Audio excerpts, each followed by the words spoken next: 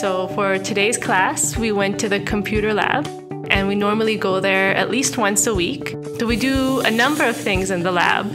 Uh, most of the time, we, we have a class wiki that we use, which I've developed with um, links to various things depending on the theme that we're doing. So we do themes like health, education, employment, and each theme has um, a variety of links for listening, for reading, for grammar that students can access. And so it is a bit of self study time and independent work time where they can really focus on the, the skills that they're weaker at or want to explore more. They can access the wiki anywhere at all. It's just online. And sometimes we even contribute to the wiki so they can add their own posts like a forum. So it's a great tool.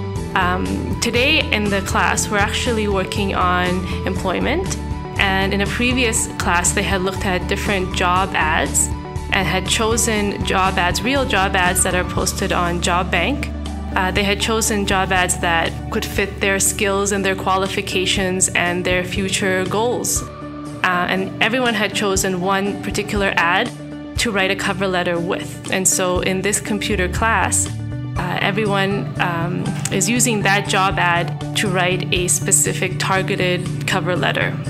And we, we had gone over the format in class.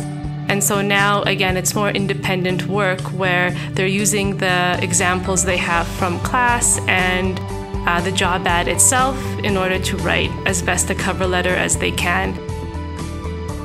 So, um, in addition to language skills, uh, here at, at CIES, we want to give our students the tools they need to find meaningful employment and learn about Canadian workplace culture so that they can participate more fully and successfully in Canadian society.